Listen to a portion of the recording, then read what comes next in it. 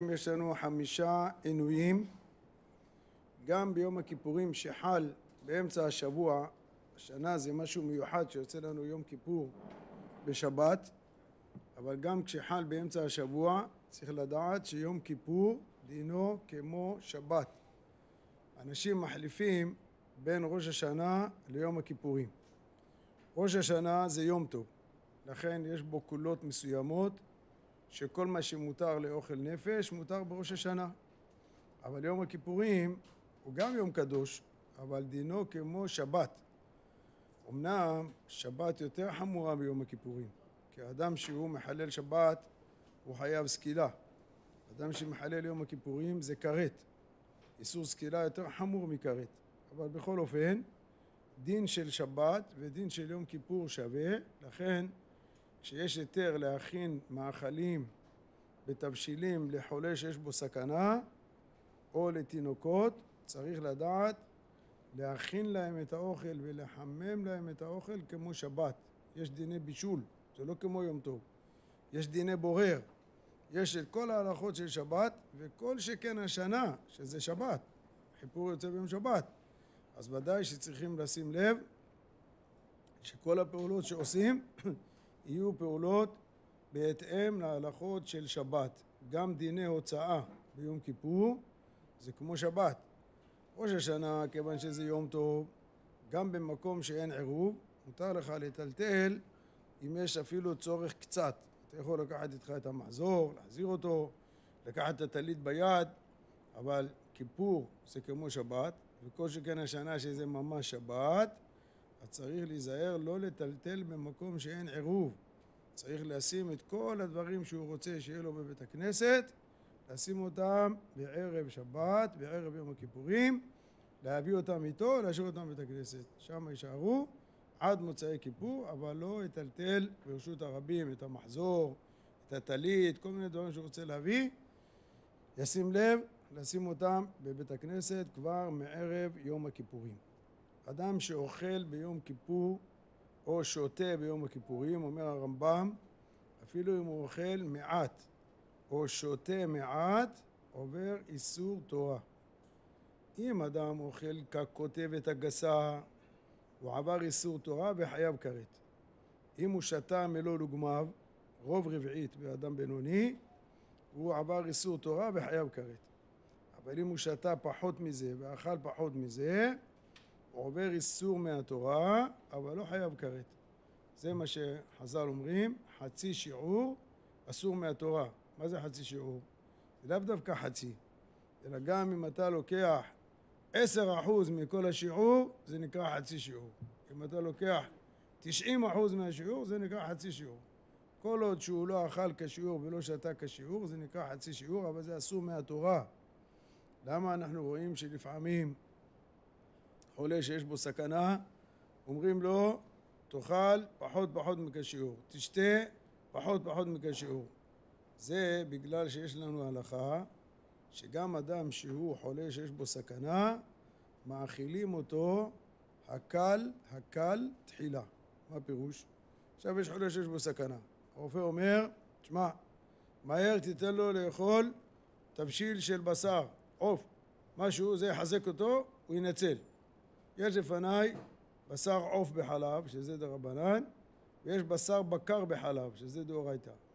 בא אחד ואומר, מה זה משנה? הוא חולה שיש לו סכנה, תיתן לו את הבשר בקר עם חלב. לא. אם הוא יכול להינצל בבשר עוף בחלב, שזה איסור דרבנן, לא מאכילים אותו איסור דאורייתא. תיתן לו את הקל. אפשר לפתור את הבעיה של הסכנה שלו עם איסור דרבנן. למה לתת לו לאכול איסור תורה? אז לא נותנים לו את הבשר בקר בחלב, נותנים לו בשר עוף בחלב, כי זה מציל אותו מהסכנה. אז תמיד בודקים, צריך להציל אותו, אבל הקל הקל תחילה. אותו דבר גם ביום הכיפורים. אם החולה הזה הוא מסוכן, הרופא אומר, תשמע, אם הוא יצום 24 שעות, הוא עלול למות.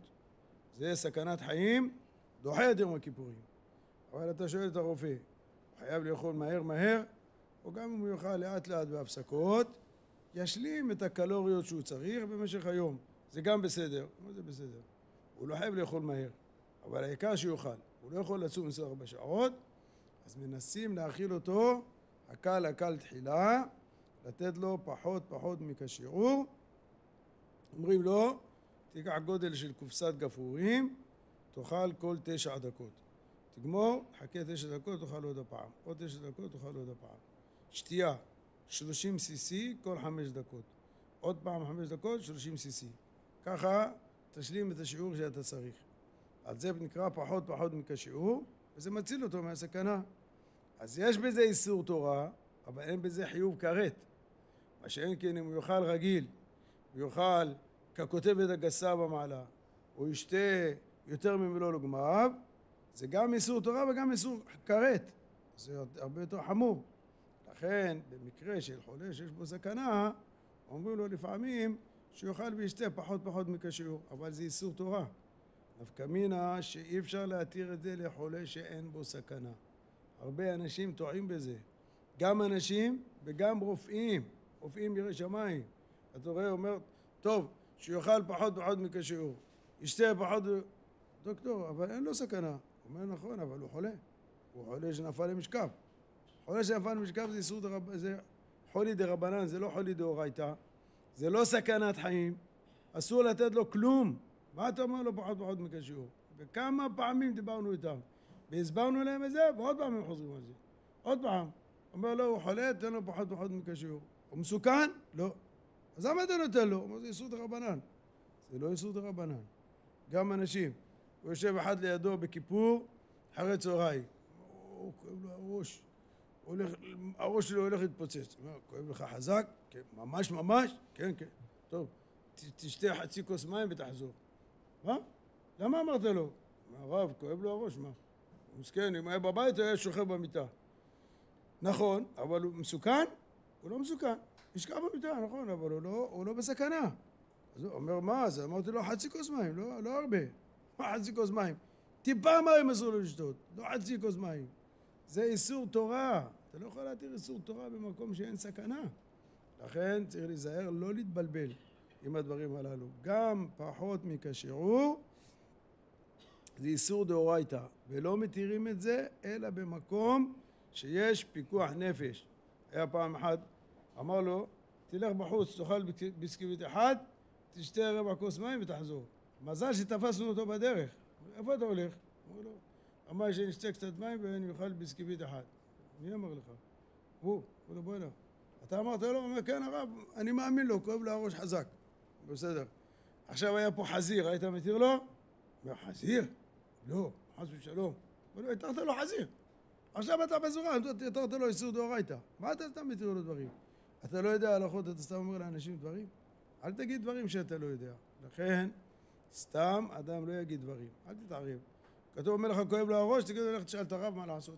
מה אתה מחליט בשבילו? אתה לא רב ולא פוסק. מה רוצה? לא, לא, לא, לא, לא, לא, לא, אל תיכנס איתי עכשיו ליולדת ולא למעוברת. אנחנו נגיע לפי הסדר. אתה מקדים את המאוחר. חכה. אני יודע. חכה, לא דיברתי על יולדת רגילה, שאני אגיד לך לא רגילה. כשאני אדבר על יולדת, תדבר. אחר כך. אנחנו עכשיו לא דיברנו על יולדות.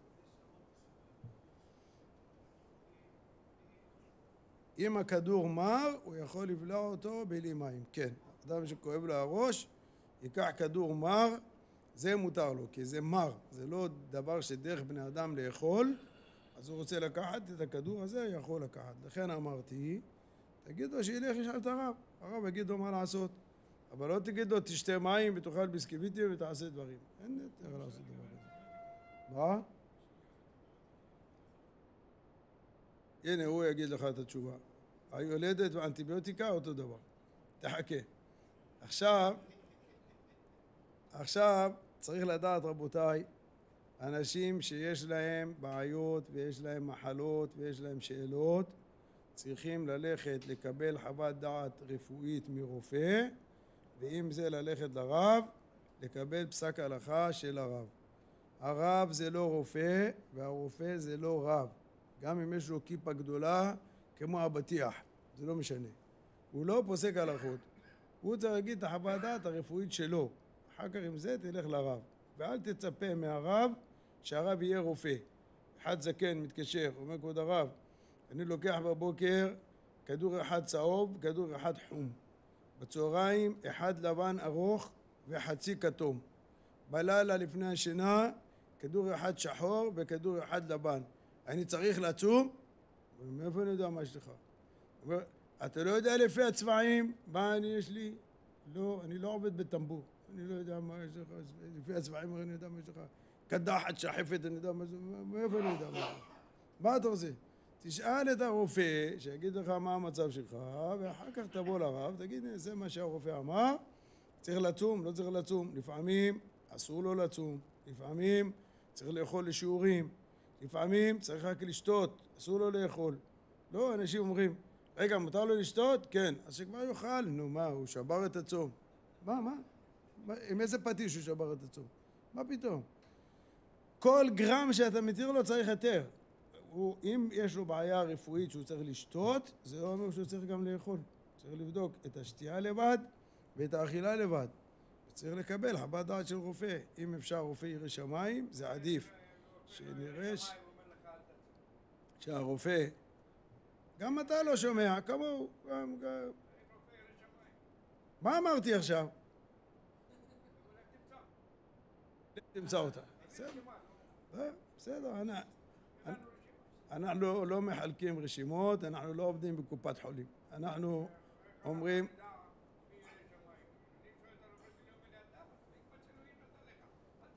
אה, יפה מאוד. אל תשמע בקולו. לא, אני אומר לך מעכשיו, אל תשמע בקולו. אז צריך להשתדל לקחת רופא ירא שמיים שמבין מה זה כיפור. אם הוא לא מבין מה זה כיפור, איך אתה יכול לסמוך עליו? אחד פעם בא אלינו, התקשר, שאל איזה שאלה, אמרתי לו, תשמע, לא נראה לי שזה סכנת פשוט. אתה יכול לצום. הוא אומר, לא, הרופאה שלי אמרה לי לא לצום, וגם לא לשיעורים, לא לצום בכלל. מה, מזה? אולי יש לך עוד בעיות. תביא את המספר של הרופאה. התקשרנו אליה, דוקטור, את מכירה את האיש הזה? כן, הוא פציינט שלי. את אמרת לו לאכול בכיפור? כן. ויאכל רגיל לא לשיעורים? כן. מה כן? בוא תגידי, אני לא מבין. על דבר כזה, את רוצה להגיד שאם הוא יצים הוא ימות? אומרת כבוד הרב, אתה לא חושב שהגזמת? לא מתים מדבר כזה. אז למה את אמרת לו שיאכל וישתה? אומרת, לא, תראה כבוד הרב, הקדוש ברוך הוא רוצה שהבריאים יצומו. את החולים תעזוב אותם. מה אתם מסכנים, הוא חולה, מה אתה עכשיו? היא רוסייה, לא יודע בכלל אם היא יהודייה, היא לא מבינה מה זה כיפור. נהייתה שותפה של הקדוש ברוך הוא, מחליטה מי יצום, מי לא יצום, החולים, הבריאים, היא מחליטה בשבילו. זה אפשר לסמוך חוות דעת כזאת? היא לא מבינה בכלל מה זה כיפור. אומרת, מה אתה רוצה מהחולים, מסכנים, תעזוב אותם. הבריאים צמים זה מספיק. טוב, אם את שותפה של הקדוש ברוך הוא זה משהו אחר. את לא יכולה להחליט. אז תסמוך על דבר כזה, לא שייך לסמוך. צריך לקבל חוות דעת של בן אדם שמבין מה זה כיפור, יודע ששואלים אותו אם יש פה סכנת חיים או לא. זה השאלה. זה מה שקובע פה בנקודה שלנו. וכל אדם שיש לו שאלה כזאת, רבותיי, להזדרז לברר את הנתונים הרפואיים ולקבל פסק מהרב. אל תחכו לרגע האחרון. אנשים בערב כיפור טלפונים בלי סוף. אין לנו הרבה מה לעזור להם. תגיד, מה הרופא שלך אמר? לא תפסתי אותו. אז אתה יכול להביא חוות דעת? אומר, לא, קופת חולים סגור. אז מה אתה רוצה, שאני אפתח לך את קופת חולים עכשיו? מה אתה רוצה שאני אעשה לך? עכשיו ערב כיפור, מה אתה רוצה שאני אעשה לך? אני לא יכול לעזור לך. למה אתה מחכה עכשיו? התקשרה אישה אחת, באמצע סעודה מפסקת, תבין, עוד מעט שקיעה. אומרת, כבוד הרב, אני בחודש התשיעי, אני צריכה לצום? עכשיו את מתקשרת לחודש התשיעי. הסברתי לה מה צריכה לעשות, אומרת לו, לא, לא, לא, כבוד הרב, תדע לך, אתה קצר רוח, תדבר לאט לאט. אומר כן, אבל אני באמצע סעודה מפסקת, והשמש שוקעת. אומר, אני כבר אכלתי, היא כבר אכלה, הכל בסדר. עכשיו הרב מלאך, הרב צריך לאכול, מה פתאום? אתה קצר רוח, כן, אתה מבין? למה? כי התברר לה שהיא מעוברת בחודש התשיעי רק לפני שעתיים. אז מאיפה היא יכלה לשאול את השאלה? היא יכלה, יכלה לברר על זה לפני כן. זה בא עד עכשיו, באמצע זאת המפסקת. איפה הראש של האנשים? מה, מה את מצפה ש... שיעשו איתך? זה עוד בסדר, יודעים מה צריך לעשות. אבל בן אדם בא לך עם רשימה של מחלות, רשימה של כדורים, רשימה של זה, אומר זה. אתה לא יודע מה זה המחלה הזאת? לא, אני לא רופא. מאיפה אני יודע? כן? ולכן אני אומר, אל תערבבו את התחומים. הרב פוסק את ההלכה, הרופא ייתן את החוות דעת הרפואית שלו, תעשו את זה כמה שיותר מהר. אני שמעתי פעם, היו ברדיו, הביאו רופא ורב, והבן אדם עוד לא גמר את השאלה, הרופא מנסה לנתח מה, מה המצב שלו, הרב כבר ענה לו. אומר לו, הרב, הוא לא חולה שיש בו סכנה, אני יודע למה אתה אומר לו לאכול. אומר לו, זה בסדר, זה בסדר. לו, אני אומר לך שהוא לא מסוכן. אני לא מבין.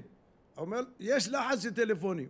טוב, יש לחץ של טלפונים, אבל בשביל מה הבאת את הרופא, אם אתה כבר מחליט בלעדיו? והוא אומר לך שהוא לא מסוכן, ואתה אומר הוא מסוכן, אז אם אתה גם רופא וגם רב, בסדר גמור. שלח את הרופא הביתה, בשביל מה הבאת אותו? אני לא הולך שם. אומר יש לחץ, יש לחץ, אז או שלא תענה, או שתענה עם הלחץ, ומי שהספיק הספיק, מי שלא הספיק לא הספיק. אבל אי אפשר לענות ככה, בדיוק הפוך מהרופא, הרופא אומר לו הפוך, הוא אומר לו משהו אחר. אני לא יודע. אני אומר רבותיי, אל תחכו, אל תחכו לרגע האחרון. כל מי שיש לו מקרה שלו בעצמו, סבא שלו, דוד שלו, שכן שלו, מישהו שהוא מכיר, תזרזו אותם, שיבררו את המציאות שלהם ברפואה, ילכו עם זה לרב, יקבלו פסק הלכה, כדי שבאמת יעשו את מה שצריך ביום הכיפורים. לפעמים זה הפוך, הם צריכים לאכול, הם לא רוצים לאכול. היה פעם זקן אחד בא אלינו, איזה בעיות, הרופא אומר לי, בכלל נס שהוא עומד פה. אסור לו לצום בכלל, חייב לאכול ולשתות. טוב, מה שאמרו לו, אומר, לא, מה? אני שמונים שנה צמתי, עכשיו אני אוכל? מה פתאום? תשמע, זה מסוכן לך. אומר כבוד הרב, אני לא אכפת לי, אני אצום, ואם הוא ימות, יהיה קורבן להשם. אמרנו, הוא יהיה קורבן להשם. אחד אומר לך קורבן להשם, מה תעשה איתו? אין מה לעשות איתו. הוא בא ללכת. אמרתי רבי יעקב, בוא רגע, אני רוצה להגיד לך משהו אחד ותעשה מה שאתה רוצה. אומר הרב, אני לא, אני לא יכול. אני רוצה להגיד לך דבר. אתה אמרת, רוצה להיות קורבן להשם, נכון? כן. אמרתי תדע לך, אתה תהיה קורבן פסול. זה הכל. תלך, עכשיו תעשה מה שאתה רוצה. למה אתה אומר לי ככה? אמרתי, אם אתה עושה נגד רצון השם, אתה קורבן פסול. זה הכל, תלך. אומר, לא, לא רוצה להיות קורבן פסול. טוב, אז אני אוכל. מה זה קורבן להשם? השם אומר לך תאכל, אתה אומר לי קורבן להשם? מה זה, וחי בהם ולא שימות בהם. יש מקרים, קשה להם, אני מבין שקשה להם. בן אדם צם 80 שנה, במסירות נפש, עכשיו פתאום רגל אחת בגן עדן, אתה אומר לו תאכל ביום הכיפורים. אבל זה המצווה שלו. יש אנשים שמצוותם לצום, יש מצוותם לאכול. מה נעשה? אם עכשיו המצב הבריאותי שלו מחייב את זה, מה אפשר לעשות? וצריך לשמור עליהם שהם יעשו את זה. אחד אצלנו, אמר כן, בטח, אמר לבן שלו תכין לי שקיות של ביסקיביטים, אלו של השלוקים שאני אשתה, הכל, הכל. אמרו לו, אה, הגיע הזמן, תצא, תאכל ותחזור. הולך, חוזר, עוד פעם. אחר כך הוא שם לב, איך הוא חזר מהר? איך הוא הספיק לאכול את זה? מה, עקב אחריו, זורק את זה בשירותים, מוריד על זה מים וחוזר בחזרה. לא אוכל ולא שותה. תראה איזה דברים. צריך לצאת לראות, תראה שהוא אוכל. הוא אומר, אני אוכל, אל תאמין לו. תבדוק אחריו שהוא אוכל. זה סכנה. אם זה מסוכן, הוא צריך לאכול, הוא צריך לשתות. אז לכן צריך לבדוק רבותיי, לא לכיוון הזה ולא לכיוון הזה, לא להחמיר במקום שצריך להקל ולא להקל במקום ש, שזה אסור, אז זה מה שלפי ההלכה, אבל את זה אפשר לברר כמה ימים קודם, לא לחכות לרגע האחרון. יש דבר אחד מאוד חשוב שצריכים לדעת אותו, למעשה שני דברים חשובים. קודם כל, אנשים באים לצום, שותים בסעודה מפסקת כמויות אדירות. אתה רואה אותם באים לבית הכנסת בערבית, הוא יושב לאט לאט לאט. למה? אם הוא יושב בבת אחת, ייבקע הנאד ונגמר הסיפור. אז הוא יושב לאט לאט ככה, וכל רגע הולך לשירותים, חוזר, הולך, חוזר, הולך, חוזר, משלים את המאה הברכות שחסר לו עם אשר יצר בליל כיפור. לא צריך עוד בסמים, דברים, לא צריך. ליל כיפור, משלים. אחר כך אומר, וואה, עוד לא נהייתי צמא. שנה הבאה אני אשתה יותר. מה תשתה יותר? מה? שתית כבר עוד מעט, התפוצצת. אלא אם כן הוא היה בגלגול הקודם גמל, זה משהו אחר. אז יהיה לו מאגרים. אבל בן אדם נורמלי אין. אתה שותה הרבה, הגוף פולט את זה. החוכמה זה לשתות כבר יומיים קודם הצום. יומיים לפני הצום, תתחיל לשתות כל היום בהפסקות, זה מאוד חשוב. זו נקודה שצריך להזכיר אותה גם בבית, לכל בני הבית, בעיקר נערים ונערות שנעשים בר מצווה ובת מצווה, מאוד חשוב לשים לב שהם ישתו כבר יומיים קודם, יום לפני הצום, כל היום בהפסקות, עוד כוס מים, עוד כוס מים, ככה במשך היום. הגוף רווי בנוזלים. מי שעושה את זה רבותיי, אומר, הצום היה צום אחר לגמרי. זה שונה שמיים וארץ, ממש. אז כדאי שכל אדם יזכור את זה ויזכיר למשפחה שלו לשתות. סעודה מפסקת, תשתה רגיל, מה שאתה רוצה, כמו שאתה שותה בסעודה רגילה. אחד אומר, תשתה מיץ ענבים, השני אומר, תאכל ענבים. השני אומר, לא, תאכל אבטיח. הוא אומר, לא, תשתה בירה לבנה. כל אחד עם הסגולות שלו, אני סגולות לא בדקתי. מה שכן, כמו שאמרתי לכם, יומיים קודם להתחיל לשתות כל היום בהפסקות, סעודה מפסקת, תשתה נורמלי, צום אחר לגמרי. זה נקודה אחת חשובה. נקודה שנייה רבותיי, תדעו לכם, אדם שעומד הרבה בצום הוא מאבד אנרגיה. אנשים לא יודעים כמה אנרגיה מאבדים בעמידה. הם חושבים רק אם אתה הולך, אתה מרים מסעות, אתה מתאמץ, אבל אם אתה עומד לא, זה לא נכון. אדם שעומד הרבה מאבד אנרגיה והוא נהיה חלש ולכן אנשים שמכירים את עצמם שהם חלשים, אנשים מבוגרים, ילדים שנעשים בר מצווה ובת מצווה להקפיד לשבת רוב היום. לעמוד רק איפה שמוכרחים לעמוד. איפה שלא צריכים לעמוד תשב. אתה תראה צום אחר לגמרי. אתה תציע לגמור את הצום הרבה יותר בקלות מאשר אם אתה עומד. יש אנשים שאומרים לא אני רוצה לעמוד אני מחמיר. אם יש לך כוח בבקשה. אבל אם אתה מרגיש שאתה חלש ואתה מגיע לסוף הצום באפיסת כוחות אז מראש תיקח בחשבון לעמוד רק איפה שמוכרחים. איפה שלא מוכרחים, תשב. בפרט, הילדים שנעשים בר מצווה ובת מצווה הם מאוד חלשים, הצום הארוך קשה להם, תשים לב שהם ישבו רוב הזמן. תגיד לו, אני בתור אבא אומר לך, כיבוד אב ואם, תשב. אתה רוצה לעמוד, קיבלת עול מצוות, רוצה להיות, איך אומרים, צדיק? תהיה צדיק, זה טוב. אבל אל תעמוד. אל תעמוד הרבה. לעמוד הרבה זה מחליש אותם, לפעמים לקראת סוף הצום כבר לא מחזיקים מעמד. אז זה חבל. יותר טוב, כמו שאמרנו, מההתחלה לדאוג להם שהם ישבו רוב הזמן, יעמדו רק איפה שמוכרחים לעמוד, וככה זה יקל עליהם מאוד שיוכלו להחזיק מעמד את כל הצום כמו שצריך. לגבי מוצאי הצום, יש טעות נפוצה מאוד אצל הרבה אנשים שהם חושבים שהתקיעת שופר מוציאה את הצום. והם חושבים שהתקיעת שופר הזאת יותר חשובה מהתקיעה של ראש השנה. האמת? בכלל לא. התקיעת שופר הזאת שתוקעים במוצאי כיפור זה זכר ליובל שהיה נוהג. זכר ליובל. זה אפילו לא דרבנן. זה זכר בעלמא. ולכן השופר הזה לא מעלה ולא מוריד. לא לחומרה ולא לקולה. זאת אומרת, גם אם תקעו בשופר ועדיין לא הגיע לצאת הצום, אסור לפתוח את הצום. ומאידך גיסא, מי שלא יכול לשמוע שופר, לא שומע שופר. יש אנשים באות לבית הכנסת כבר, איך אומרים, כמעט על ארבע. למה את באת? תישארי בבית. היא אומרת, לא, לא שמעתי שופר. איך אני לא שופר? זאת אומרת, אם היא לא תשמע שופר, היא תצום עד מחרתיים. מה, מה? מה זה השופר הזה? השופר הזה לא מעלה ולא מוריד, לא לקולה ולא לחומרה, וגם אנחנו ממליצים לא לתקוע בבין השמשות. אפילו שלפי ההלכה אין איסור לתקוע בבין השמשות, אבל זה גורם מכשול להרבה אנשים. הרבה אנשים, אנחנו ראינו מה עניינו. הם שומעים את השופר, רצים לברז ושותים מים. מיד, איך שהם שומעים את השופר. עכשיו, זה אנשים שבאים לבית הכנסת רק בכיפור, הם לא יודעים הלכות. הם חושבים שהשופר הזה הוא קריטי. אז הם באים לשמוע את השופר, שומעים אותו, פותחים את הצום, וזה הרבה פעמים לפני הזמן.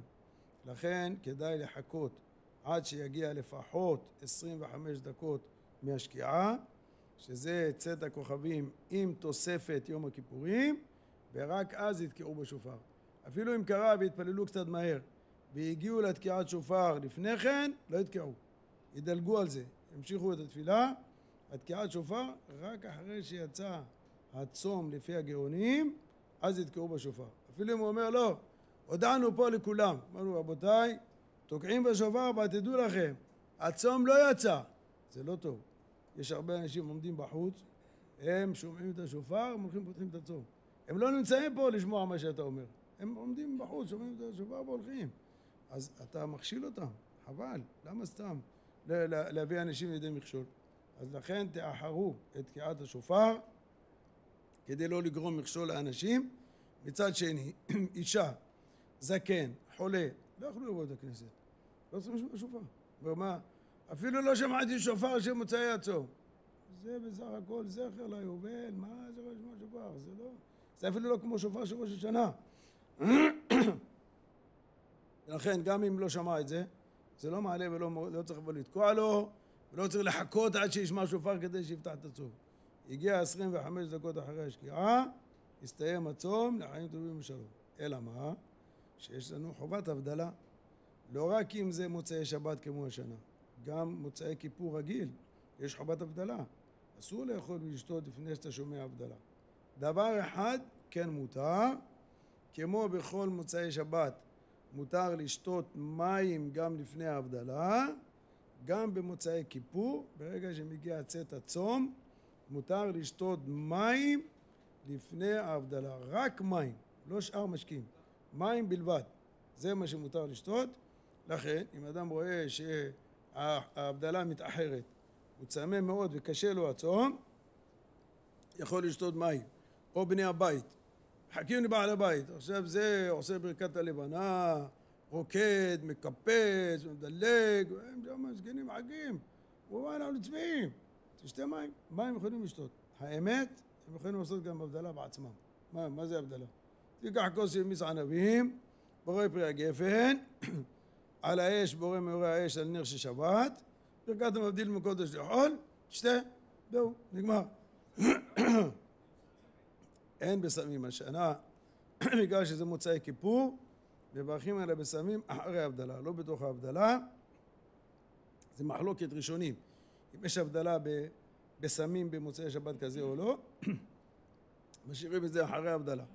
בתוך ההבדלה לא עושים בסמים, וזה אישה יכולה לעשות בעצמה את ההבדלה, תוציא גם את הבנות שלה עד שבעלה יבוא, עד שיגיד ברכת הלבנה, עד ש... לפעמים גם הוא מחכה לרבנותם. נו, עכשיו היא לא מחכה לרבנותם, היא הולכת לפי הגאונים.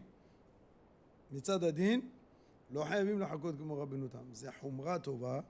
אדם שיכול, וברוך השם מרגיש טוב, מסוגל להחזיק מעמד, לא לפתוח את הצום בכיפור עד זמן רבנותם, זה דאורייתא. תבוא עליו ברכה, יחכה. אבל בני הבית שלו, מסכנים, לא יכולים. אומר, שמע, בקושי החזקנו מעמד עד עכשיו, אז יכולים לפתוח את הצום. תעשה הבדלה. מה תגיד לך? איך אני אעשה הבדלה? אני אשתה את כל הכוס הזה, כמה זקן יצמח לה. לא צומח זקן ולא שום דבר. זה סתם אמונות טפלות. תעשה הבדלה ותשתה את הכוס, וגם אם כן, מפעם אחת לא יצמח לה זקן. היא לא עושה הבדלה כל מוצאי שבת. תעשה הבדלה, לא יקרה לה כלום. ואז יהיה מותר להם גם לאכול וגם לשתות. לא רק מים, גם שאר משקים.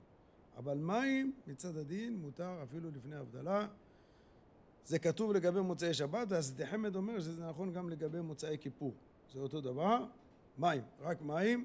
מי שבכל זאת צמא וקשה לו, יכול ברגע שהגיע צאת הכוכבים והסתיים הצום, יכול כבר לשתות מים גם קודם ההבדלה. זה לגבי היציאה של הצום. ברוך אתה אדוני אלוהינו מלך העולם שהכל נהיה בדברו. כללים, השם ישמור אותם, נותנים להם הוראות כל אחד ואחד לפי היחידה שלו. לא, לא. לא, לא, לא, לא. הרבנות הצבאית מוציאה הוראות ברורות לחיילים. טוב, אני, אני לא רוצה להיכנס לזה כי זה לא נוגע לרוב הציבור. אין לנו עכשיו מה להעריך עם זה, וצריך להגיד חילוקי דינים, כל אחד לפי התפקיד שלו והמצב שלו. אז כדאי שישאלו את הרב, אם הרב של המקום לא יענה להם, יתקשרו לרב מורה הוראה, ייתן להם הוראות, אבל צריך רב שמבין איך הצבא עובד. זה לא כל רב יודע. יש רבנים אומרים לך, מה, אדרבה, תגיד לו שיצום והשם ישמור עליו. כן, תודה רבה. השם ישמור על כולם, על כל החיילים, אמן סלע, שילכו לשלום ויחזרו לשלום בריאים ושלמים, ששים ושמחים, בוודאי, מתפללים עליהם כל הזמן, וצריך להמשיך להתפלל עליהם בלי סוף. עד שבעזרת השם תיגמר המלחמה וכולם יחזרו לבתיהם ששים ושמחים, כל הזמן להתפלל. אבל זה לא חוכמה להגיד תצום והשם ישמור עליך. הלו, זה סכנת חיים, זה לא צחוק. לכן, תשאל רב שקצת מבין איך הצבא עובד, וכל אחד איפה התפקיד שלו. יש אחד, הוא נמצא בצבא, אבל שמים אותו בש"ג, לראות מי נכנס ומי יוצא, ובדרך כלל בכיפור אף אחד לא נכנס ולא יוצא. אני פטור מהצום. למה? אומר, מה אני בתפקיד? אבקע עליך ועל התפקיד שלך אתה. איזה תפקיד אתה בחייך? אפילו מחסנית לא נותנים לו להכניס מרוב הפחד. מה התפקיד? מה התפקיד? עזוב, אתה משווה אחד שנלחם בשטח בפועל. אמרתי לך, אין בעיה, תתקשר לבית הוראה, אני אענה לך. עכשיו אנחנו לא קשורים לנושא הזה. לעומת זה, יש שאלה לגבי נשים מניקות. אני אדבר קודם על מניקות. צריך לדעת, רבותיי, אישה מנקת לפי ההלכה היא צריכה לצום. אבל מצד שני, אם היא תצום והיא תניק, היא תתייבש והיא תגיע למצב של סכנת חיים. לכן צריך להגיד לה, היא צריכה לצום ואסור לה להניק. היא צריכה למצוא פתרון לתינוק שלה עם החלב. אם היא לא רוצה לתת לו תחליפי חלב, יש לה פתרון פשוט. היא יודעת כבר שכיפור זה בשבת הבאה, נכון? זה לא פתאום מקבלים הודעה מהשמיים, עוד שעתיים כיפור. יודעים מתי כיפור. אז היא יכולה כבר בימים הקרובים לשאוב חלב, להקפיא את זה, לחמם לו ולתת לו את זה ביום כיפור. הנה, קיבל חלב אם, לא תחליפים ולא שום דבר, והכל בסדר, והיא לא מניקה בצום. אם יש לה קצת גודש, יכולה לתת את הדוקטור קצת לאכול, וזהו. אישה שצמה ומניקה, היא תתייבש. זה לא מעיין של אלישע שנובע מאליו. ברגע שהיא מניקה, היא מאבדת נוזלים. היא תאבד נוזלים, תאבד נוזלים, תאבד נוזלים, עד שהיא תתייבש. והתייבשות זה סכנת חיים, צריך לדעת את זה. אנשים לא מבינים. אומר, אה, הוא התייבש? תרטיב אותו. מה זה נראה לך סמרטוט? אתה מרתיע אותו, מייבש אותו? בן אדם שמתייבש פעם, בן אדם שמגיע למצב של התייבשות, הוא היה מת. השאלה רק מתי הוא ימות, אבל גמרנו. ברגע שהוא נכנס למעגל של ההתייבשות הוא, מת... הוא נגמר. היום יש אינפוזיה, בדרך כלל מצילים, גם לא תמיד, אבל בדרך כלל מצילים. אבל מה אתם מביא אותו לסכנה? אסור לכם לזה אדם לסכנה. לכן צריך לדעת, התייבשות זה סכנת חיים. זה באופן כללי, וזה מה שיקרה לה. אם היא תעניק ותצום, זה מה שיקרה לה. לכן צריך להסביר לה. לא מניקים, כשצמים לא מניקים.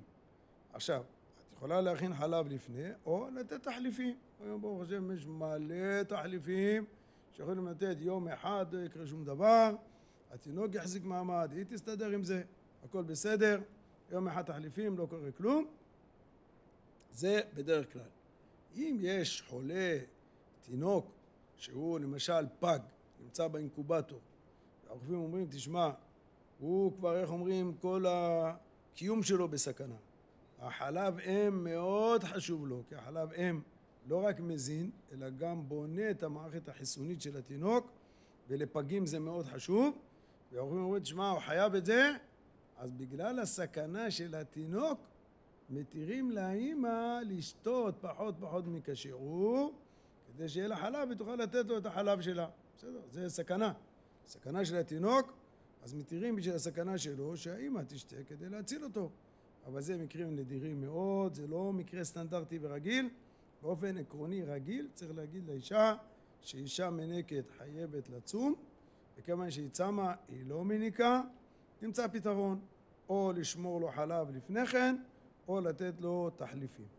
לגבי יולדת, יולדת כתוב בהלכה, שלושה ימים הראשונים ללידה היא פטורה מהצום, לא שואלים אף אחד, לא אותה, לא את הרופאים, לא אף אחד. שלושה ימים הראשונים פטורה מהצום לגמרי. משלושה ועד שבעה, אם אמרה צריכה אני, שומעים לה. אמרה לי צריכה, שומעים לה. תלוי בהרגשה שלה. אומרת, שמע, אני מרגישה טוב, אני יכולה לצום. תצומי. היא אומרת, לא, אני חלשה, אני מרגישה קשה לי מאוד, אני רוצה לאכול ולשתות. מותר לה לאכול ולשתות לשיעורים, פחות פחות מכשיעור, כי ספק סכנה. אחרי שבעה ימים מהלידה, דינה כמו כל אדם, היא צריכה לצום. אלא אם כן, היה לה איזו בעיה מיוחדת, היה לה לידה מורכבת, לא פשוטה, היה שם סיבוכים, איבדה הרבה דם, זה משהו אחר.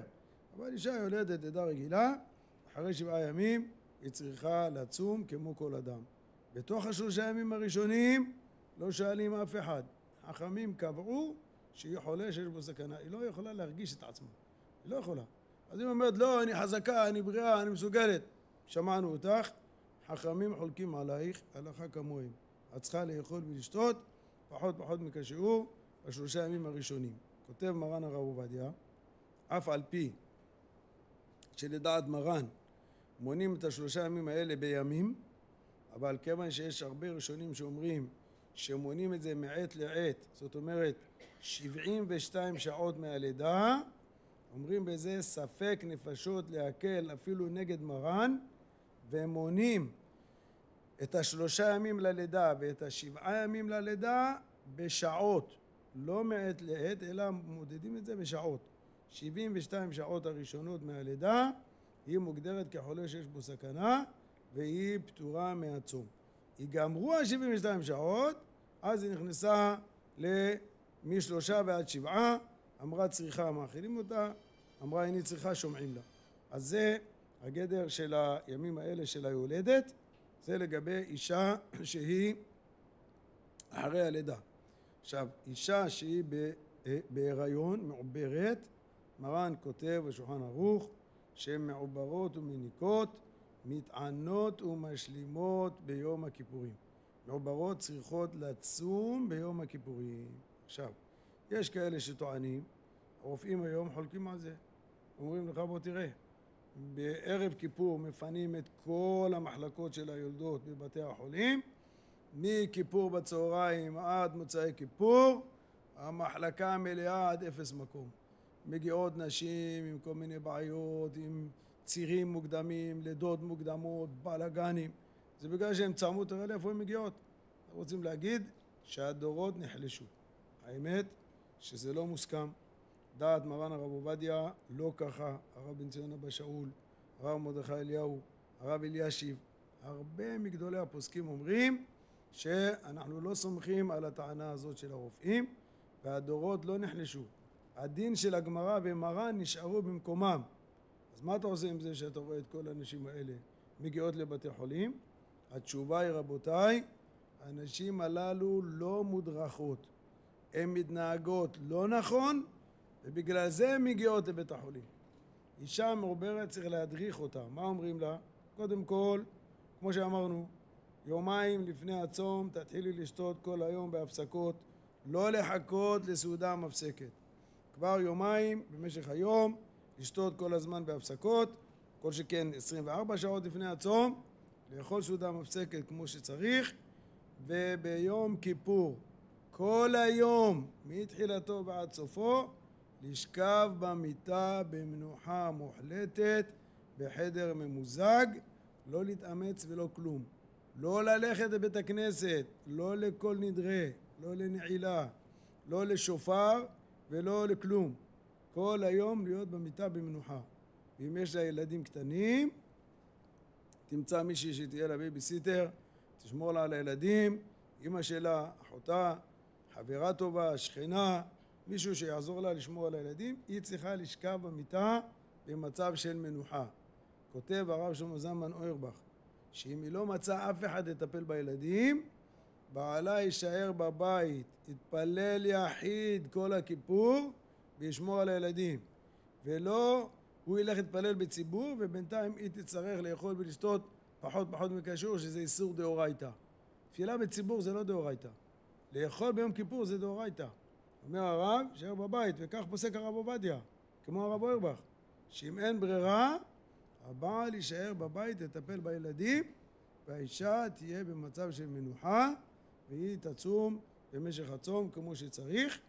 אומר הרב בן ציון אבא שאול עליו השלום, בכל זאת, ללמד אותה, שאם פתאום באמצע הצום היא מתחילה להרגיש לא טוב, מתחילה להרגיש צירים, מתחילה להרגיש זיעה קרה למרות שהיא שוכבת במיטה. נראה לה סחרחורות שחור מול העיניים, תפסיק את הצום מיד ותתחיל לשתות לשיעורים 30 cc כל חמש דקות כדי להשיב לעצמה את הנוזלים שחסרים לה. אומר הרב בן ציון, היא תהיה הפוסקת של עצמה, לא לחפש רב, ולא מורה הוראה ולא כלום. מרגישה אחד מהדברים האלה, להפסיק את הצום מיד. זה ההלכה. לא לחפש עכשיו. איפה בעלה, איפה הרב, איפה מה, תשאל, תלך, תחזור, היא תלד כבר בינתיים. אז לכן, זה מה שצריך ללמד אותה. ברוך השם, אפשר לומר שבמשך השנים מאות נשים התקשרו אלינו לבית הוראה, נתנו להם את ההוראות האלה ואני ביקשתי מהם, תחזרו אליי אחרי כיפור, תגידו לי מה קרה. אני רוצה לשמוע, לראות מה התגובות. רוב האנשים שחזרו אלינו אמרו, הרב, זה היה לי הצום הכי קל בחיים. לא היה לי צום כזה קל בחיים, כמו הצום הזה. תבינו, לא הגיעו לבית חולים ולא שום דבר. עברו ברוך השם הצום בסדר גמור. מי מגיעה לבית חולים? זאת שלא שותה יומיים קודם, לא מכינה את עצמה לצום כמו שצריך, מתרוצצת כל היום ומטפלת בילדים, הולכת לבית הכנסת לקל נדרה, חוזרת, אחר כך הולכת לשמוע נעילה, היא לוקחת איתה את הילדים הקטנים, אחד בעגלה, אחד ביד, יורדת את כל המדרגות, עולה את כל המדרגות של העזרת נשים ומתאמצת כל היום במצב שגם אם היה איש מעובר, גם היה יולד, אז היא מגיעה לבית חולים, כן, ודאי שהיא תגיע לבית חולים. מה חשבת שיקרה? מה חשבת? עם כל המאמץ הזה שהיא עושה והיא בצום, אז היא יולדת מוקדם, כן, היא מגיעה לצירים מוקדמים, נכון. זה נשים לא מודרכות, הן מגיעות, הן מגיעות לבתי חולים, נכון. זה ראיה שהדורות נחלשו? זה לא שום ראיה לכלום. זה אישה שהיא מעוברת, המצב שלה לא רגיל, והיא מתאמצת יותר מבן אדם רגיל, אז היא בוודאי תגיע לבית חולים. לכן זה לא ראיה שמגיעים לבתי החולים. זה בגלל שהן לא מודרכות והן לא מתנהגות נכון. אבל כל מי שמתנהגת לפי מה שרבותינו אומרים, ברוך השם, משלימה את הצום, ואמרנו, אם בכל זאת פתאום מתרגיש לא טוב, נתנו לה את הכלים ואת ההוראות לפתוח את הצום, אין בעיה. אז מסבירים לה את זה, וברוך השם, רוב האנשים הכל בסדר. כל זה מדובר באישה שההיריון שלה תקין, אין לה בעיות, היא לא מוגדרת כהיריון בסיכון גבוה, לא היו לה הפלות מוקדמות, הכל יצא טוב ובסדר, היא צריכה לעשות כמו שאמרנו. אם היא מוגדרת כהיריון בסיכון גבוה, או שיש לה איזה בעיות, או שהיו לה כבר הפלות מוקדמות, או דברים כאלה, תשאל רב, בדרך כלל יפטרו אותה מהצום, בעיקר הם צריכים לשתות, זה, זה הנקודה המרכזית, צריכים לשתות, אז יורו לה לשתות פחות פחות מכשיור כל הזמן, כדי שהיא תוכל להחזיק מעמד, ובכל זאת לא תתאמץ, גם אישה כזאת לא תתאמץ, אבל יהיה לה פטור מסוים בגלל המצב המיוחד שלה. אבל זה אישה עם הריון שיש איתו בעיות, יש איתו שאלות, בסדר. אבל אישה שברוך השם הכל רגיל, הכל תקין, אין לה שום בעיות, ההוראות הן כמו שאמרנו. אז צריך לזכור את זה רבותיי, ולהדריך את הנשים המעוברות לפי ההוראות שאמרנו. אישה מעוברת כזאת, שמתקשרת ביום שישי ערב כיפור, אחרי צהריים, מה אני יכול לעשות לה? אני יכול להחזיר אותה יומיים אחורה שתשתה כל היום בהפסקות? אין לי דרך לעזור לה עכשיו, כי היא באה ברגע האחרון. לכן אמרנו, תקדימו את השאלות, תקדימו את ההדרכה, כדי שאנשים יקבלו את ההדרכה הנכונה, יקבלו את ההוראות הנכונות ויקיימו את הצום כמו שצריך. הגדולים שלנו, הרב עובדיה, הרב מציון, הרב אלישיב, הרב מרדכי אליהו, ידעו את הטענה הזאת, ובכל זאת הם פסקו כמו דעת מרן, שאישה מעוברת צריכה לצום, אבל אמרנו, היא צריכה להיות מודרכת, איך לצום. ברגע שהיא מתקיימת את ההוראות נכון, ברוך השם הכל עובר בסדר. צריך גם להזהיר אותם. יש נשים, אומרת לא, כבוד הרב, מה, אני מרגישה טוב, אין בעיה. אני רק הולכת לשמוע הכל נדרה ואני חוזרת. אחר כך בבוקר אומרת, לא, אני רק אתפלל שחרית, אחר כך אני אבוא. אחר כך אומרת, נו, מה, רק נעילה. לא. גברת, כלום, תשארי בבית. עכשיו התפקיד שלך זה לשמור על התינוק שלך? תשארי בבית, תתפללי בבית. לא ללכת בכלל לבית הכנסת. ההליכות, החזרות, המדרגות, לעלות, לרדת, זה מאבד להם אנרגיה וזה לא טוב. זה מחליש אותם. לכן הן צריכות לשמוע על ההוראות, וברוך השם, כל אלה ששמעו להוראות שאמרנו, השתבח שמו לעד, לא יעונה לצדיק כל אבן, לא קרה להם שום דבר, הכל הלך כשורה. ושוב אני אומר, לתת להם את המפתח בידיהם. אם בכל זאת את מרגישה לא טוב באמצע הצום, מרגישה צירים, מרגישה סחרחורות, עומדת להתעלף, את מרגישה זיעה קרה למרות שאת שוכבת במיטה, אלה סימנים שקורה משהו, תתחילי לשתות לשיעורים, פחות פחות מכשיעור. אומר הרב אוירבך, הלכה מאוד מעניינת וחשובה. הוא אומר שכל חולה שהתרנו לו מחמת הסכנה או ספק סכנה לשתות, הוא לא חייב לשתות מים. הוא יכול גם לשתות משקים שמזינים. זאת אומרת, היא יכולה לשתות חלב, היא יכולה לשתות מיץ ענבים, היא יכולה לשתות דברים אחרים שהם משקים, אבל יש בהם גם כן אה, אנרגיה, יש בהם קלוריות. זאת אומרת, היא לא חייבת לשתות מים. לא, התרנו לך לשתות, תשתי מים. מה את עכשיו שותה מיץ ענבים? אם כבר התרת לה לשתות, מה אכפת לך שהיא גם שותה משקה שמזין אותה? מותר לה לשתות. ברגע שמותר לה, מותר לה לשתות הכל. אז אם היא רוצה לשתות חלב, זה יותר מזין, שתי חלב. שתי מיץ ענבים, יש בזה הרבה קלוריות, שתי מיץ ענבים. רוצה? מה? מה אם היא תברך? נו, מה אתה אומר? מה לפי דעתך? תברך או לא? אה? לא, לא נהנית מזה. בוא נראה אותך, תצום ואני אתן לך לשתות פחות מכשיעור.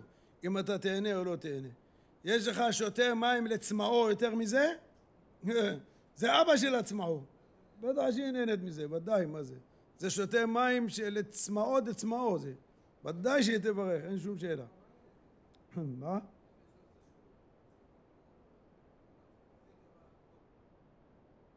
ילד שהוא בן 13, אני אמרתי, צריך להתנהג איתם בכפפות של משי. לשמור עליהם, קודם כל, לשמור עליהם שהם ישתו יומיים קודם כמו שצריך בהפסקה, יאכלו סעודה מפסקת וישבו רוב היום.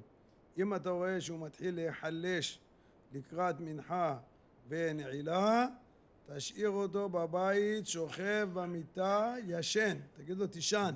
תישן עד מוצאי כיפור. יותר טוב שיישן, לא יתפלל, לא מנחה, לא נעילה ולא ערבית, ולא יפתח את הצום שזה דאורייתא, מאשר תביא אותו בכוח בית הכנסת, ובסוף הוא יפתח את הצום. היה לנו אחד כזה בבית כנסת, אבא שלו בור בעם הארץ מדאורייתא ומדרבנן. הבן אדם נראה כמו לימון, עומד כל רגע להתעלף, קום, תעמוד, לא, אני לא יכול, אני לא יכול. מה, אתה יכול, אתה לא רוצה. אה. ראיתי שעוד מעט הוא עומד להתעלף. באתי, לו, שמע, מה, תעזוב אותו, תן לי לטפל בו, בסדר? אומר, זה חצוף, הוא לא רוצה... אמרתי, תעזוב אותו. באתי, אמרתי לו, בוא, בוא, יש פה שטיח על הזה, רצפה, תשכב על השטיח ותישן. אמרו לי, הרב, כולם הסתכלו עליי. אמרתי, תשים את הפנים שלך לקיר. תשמע. לא עבר חמש דקות, נרדם, נרדם, מסכן, התעלף.